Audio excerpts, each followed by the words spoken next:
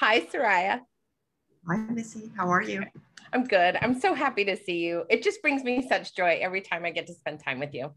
Oh, that's so nice. I love talking to you. All these conversations, they always leave me thinking more things. Yeah, I, I just think it's really great. Um, I want to thank you for joining me today um, and being my special guest and also our keynote speaker for our Women oh, in Mortgage Conference. Happen. It's going to happen. It is. I'm so yeah, thrilled. Your hard work and persistence. I know it's been long, long coming. It has. It has. And I'm excited about it. So, um, would you do me a favor and introduce yourself to um, the people who watch our lovely and amazing Facebook Lives? Sure. Um, well, I'll start by saying that we met at a political women's rights conference, really, what it was. Mm-hmm. Um, and I think both of us had come to that conference after many years of working on the issue of women's political lives, health, social well being. Um, and really, I mean, in my case, I started, uh, I don't really remember a time that I wasn't thinking about these sorts of things. And I started writing about them in college and, um, and then took my feminist self into the workplace thinking that you know there would be progress and moving forward things would just keep changing and getting better and that was just simply clearly not the case because our institutions um, are inherently conservative and um, stubborn and change is slow mm-hmm. um, but about 10 11 12 years ago i left a, a career really in media and data technology uh, to go back to writing full time and to feminist activism, which I've been doing since then. Uh, and that work has involved writing about the role of um, identity, gender, and race and um, power in virtually any sphere religion, education, finance, um, politics. Uh, and eventually, I consolidated a lot of my thinking in a book that I published two years ago called Rage Becomes Her. It's so is, good. Oh, thank you. Which is kind of a Trojan horse for all of these issues. What is the state of um, equality today? Mm-hmm. Uh, how does it affect us all, but particularly how does inequality touch women's lives at every stage of life and sphere of life? Yeah. Um, and I wrote it after the 2016 election because that seemed like such a shock to the system for many people. Mm-hmm. But for uh, those of us who had been doing work, particularly in reproductive justice, mm-hmm. it wasn't that big a shock. It was really just uh, kind of put your face in your hands and wish you were wrong moment. It really was like the I think it was a moment and and you know what was really interesting for me as you know this coach and this you mm-hmm. know this person who's like coaching women and running my own business and all of a sudden I ended up having all of these women who had supported Donald Trump mm-hmm. coming to me and saying I don't have a voice and you seem to be someone who is really interested in helping women have a voice and that was the moment when I realized we actually are more alike than different when it comes to having being able to express ourselves in our communities as women. And and it was really an interesting turning point for me personally because i was like wow like we still have a long way to go as women supporting women Right. And then Liz came to me and said, Hey, you've got experience putting on conferences. I'm tired of listening to the same old dudes get on a stage and tell me how to work with my clients in the mortgage industry. Like she's been in the mortgage industry for like over 20 years. And she's like, I want to put together a conference of women for women where it's women and women of color on the stage so that women can come together and connect and talk about how they serve their clients in the mortgage industry in a completely different way. And it was all about disruption in this in the in the finance industry because as we know, one of the most racist, sexist places in the in the country and indeed the world is in the finance industry. Yeah, I mean, it's funny, right? Because sometimes I really laugh when I see I'm reading a newspaper or, or something and it and it says she was in a male dominated industry. like, and which would not be those if they aren't related to sort of proto maternal things, right? Like yeah. teaching and being administrative assistants and um, nursing. I mean, if you think about the the fields in which women dominate in mm-hmm. the service industries and in the healthcare industries, there are fundamentally doubling down on sex segregation and gender norms, right? They are roles in which women are expected to be sacrificial with their time and their emotions and their labor and to fulfill that societal role of caring for others. All the others are male dominated. And in those, I think, you know, I think a lot of people think, well, we need diversity, we need diversity but there's a real difference between diversity and inclusion. And the conference, as you just described it, is an is I think a, a recognition that diversity exists and is important, mm-hmm. but to to make it go into the field of inclusion yes. would be, I think, to say, listen, men, here is a bank, no pun intended, of knowledge and expertise and wisdom that you have closed the doors of this of this sector mm-hmm. um, to, mm-hmm. and that's I think the case in many industries because you know we we often find ourselves in rooms with other women mm-hmm. who are already confident, extremely experienced, are experts, and what they lack is institutional regard, status, and power. Yes, I love what you just said about institutional regard, status, and power because one of the things that uh, we've been talking about in our interviews with other women in the mortgage industry and especially so we've there's this difference between the women in the c suite and these executive women that have made it all the way from being women producers in mortgage up to the top which by the way are few and far between yeah. and very rarely women of color. Right. And then these women producers who are by the way by and large i mean these women are making for the mortgage industry billions of dollars a month, a mm-hmm. month, not a year, right? But a month because it's bananas. And one of the things that that Liz and I were, I really love your opinion on this because we were talking about this. You know what happens? What do you think it is about? So the these guys get together in the industry and they do golfing and you know they're going fishing and they're like connecting with each other and and that's about building connections but they women don't do that. We don't we don't i mean we can but we're not invited with the men to go and engage in those activities. And and what how do we respond to that? Like how do we deal with that? Well i mean in the first case we can't right? Because we we suffer from time poverty. Yeah. And this imbalance in time results in all these gaps in leisure time. Mm-hmm. But what we often think of as leisure time is, in fact, professional networking time. So golfing is leisure, but it's also building relationships. Yes. So, as long as intimate inequality exists, where women are doing the vast bulk of unpaid domestic and care work, um, this is going to be a problem.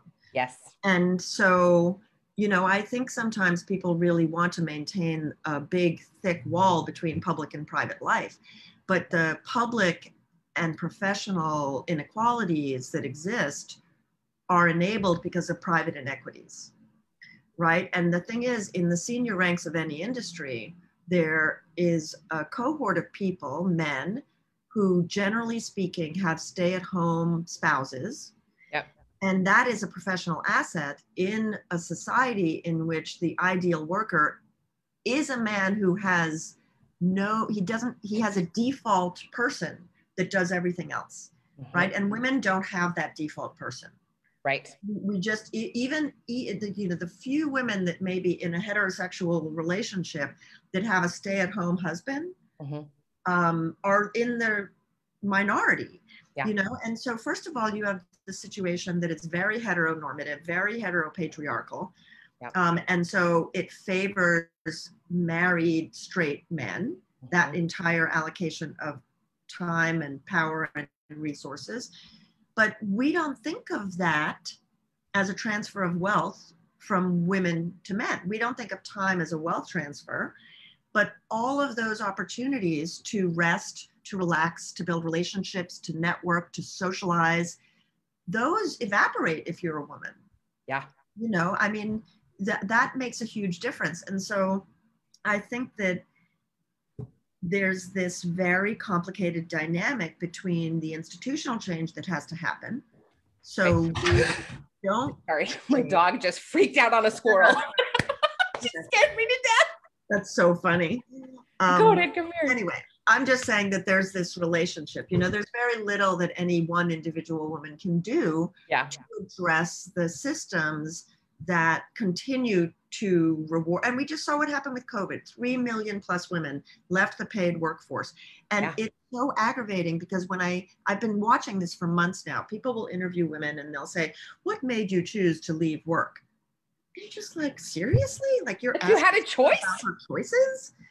You know and you you really just want to throw something at the person to say mm-hmm. please this is not a question of choice you think these women have literally they woke up that morning and said i just think i'll stop working today because i choose to and i want to yeah. you know it's just it's such a profound um, belief system the separate sphere belief system that generates this and, and it generates this not just by imposing it on us, but by being woven into our sense of self and identity. You know, yeah. if you're a woman and you're a good woman and you have a family you love, you want to do this. You want to take care of them. I'm not saying that that's wrong or should be punished. I'm just saying that the entire system is set up to punish you if you don't want to, or God forbid, there's so many millions of women who can't afford to. Yeah. Right? I mean, what about the women who don't have a high wage, a higher wage earning spouse, or, you know, need to be able to be the primary wage earner for a, an extended family or taking care of parents and children. Yes. That's not a choice that women are making. You know, it's it isn't. And and one of the things that you're bringing up that I would love to talk about for a minute is shame. So these women that we've been talking, women producers in mortgage, these are the ones who are loan officers. Like they are doing these loans and they are making so much money, so much money. And then they feel bad for pulling themselves out of poverty and making money. I was just talking to a woman literally this week.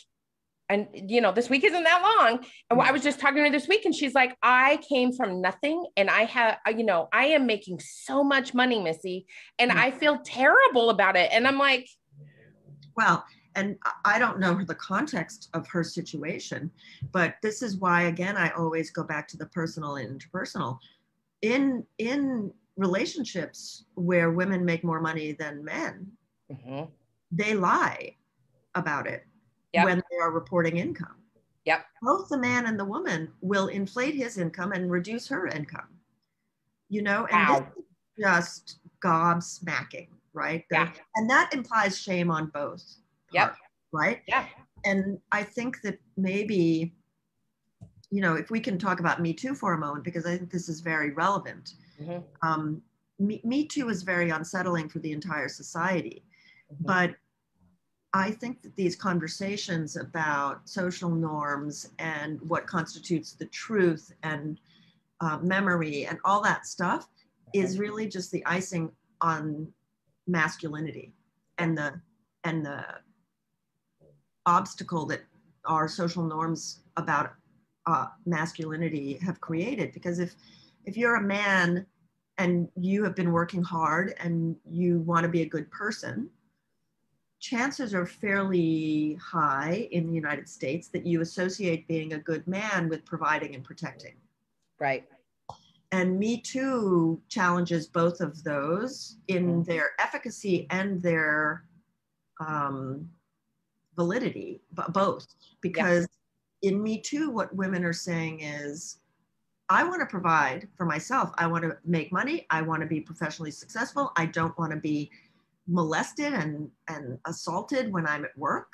Yeah. And that is inhibiting my leadership and my income potential, all of that, right? It's women literally saying, get real, we work, stop punishing us, let yeah. us be successful without this threat of assault.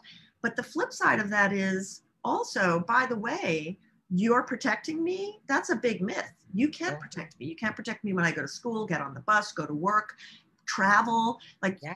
any man trying to protect the women in his life is going to have a complete mental breakdown if he stops to really think about what that means. Yeah. And so Me Too says, You're not really protecting me, and I don't really want you to provide for me. And the logical response to that is a kind of identity protective cognition, which is this can't be true. It's an exaggeration. Seriously, don't, you know, you're you're crying victim, like all this stuff that deflects from what women are saying. I think that it's really interesting how these things are so intertwined and they come together in so many different ways. One of the things that Liz and I, in the very beginning of creating this conference and creating the space, we knew intentionally that we wanted to disrupt the way women in mortgage are treated, the way they talk about their wealth and their income, the way they are spoken to about how to make money, like how to, you know, yeah. bring in more money for the industry. And, you know, it's a very masculine way of, of talking about money and clients and client interaction.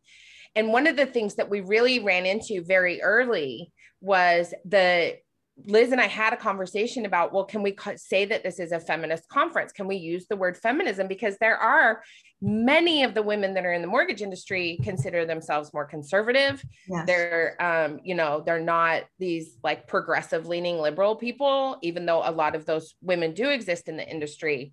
But this is a typical, you know, it's finance. So it's a typically right. more conservative industry. Yeah, it, uh, inherently. And also for women of color, feminism might seem very sort of white focused, right? Like if you're a woman right. and you've already had not good experiences with white feminism, yes, that's not going to that's not going to be appealing.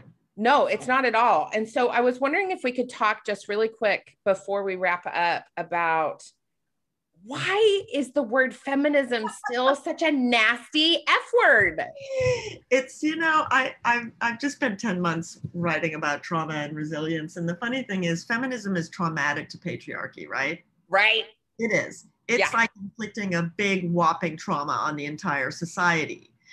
and, and what I say to kids when I talk in high schools, I'm like, think about this, right? You grow up and you hear the word racist, it's bad. You hear the word sexist, it's bad. You hear racism, it's bad. You hear sexism, it's bad. You've got all these isms that are bad. And then all of a sudden, someone says to you, feminism. And you're like, well, that follows this kind of linguistic format of neg- negative things, right? Yes. And, and it's very difficult. And it's not like we throw the word feminism at kids early on, right? We are getting maybe in some parts of the country a little more um, able to say racism, to describe racism. God forbid we actually talk about white supremacy, but even the word racism, people have a greater fluency with racism than even a year ago, right? Yeah. They, they, can mm-hmm. say the word and not feel tense. Yeah. Um, which is quite shocking. I mean, it's 2021, right? So, anyway, but all the isms tend to be bad. And in Waltz's feminism, and we're supposed to get kids to understand, oh, it's not like the other isms, right? And I think that's hard. I think the construction of the word itself is problematic from that perspective. Yeah. Um, and, and I do think that um, I, I, do think it's traumatic to the society. I, I do think that it's always radical. Feminism is always, always pushing. Yeah. You know, and people don't like that. Mm-mm you know, but without the pushing, look, where would we be? Yeah. You know? Yeah. And I think that's such a really, I love that. I can't wait to read what you're writing about. Uh, I really love that because, um, because we have seen that pushing how afraid women the women that we've interviewed the women that we talk to about leadership and having a seat at the table and how do you invite more people in and how can we be more representative of the people who are buying and selling houses? Like you know that pushing makes them so uncomfortable.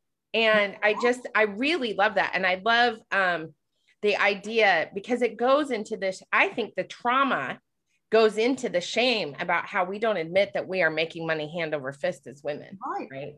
I mean, yeah. the shame, the shame is debilitating, right? Yeah. And and I would say that the shame really comes from a sense that um, even the desire to make money makes you a bad woman.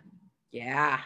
Right? Yeah. Even the desire to be self sufficient in our society as a woman conflicts with these ideals of femininity yeah. and masculinity yeah. that we absorb as yeah. children. We absorb it in the air. You know, Yeah. it comes from the watching our families and it comes from being in school. I mean, look at schools, right? Schools, primarily women are teachers, but men are administrators. The higher up the food chain you go in a school, the more men there are. Women concentrated in um, early education, men concentrated in um, higher and upper Higher education. Yep. so any kid going into our education system, we may say the words as we all do about equality and you know, uh, you know, meritocracy, but any kid who is aware of the world around them sees fewer and fewer women with power Yeah. as they get older. Yeah. And understands how that works. Yeah. You and know? that's exactly reflected in the mortgage industry too, Soraya. Like it's Right. like, you know, women are doing the groundwork and men are up in the C-suite having a great old time living the high life off those women that are doing that work at the ground.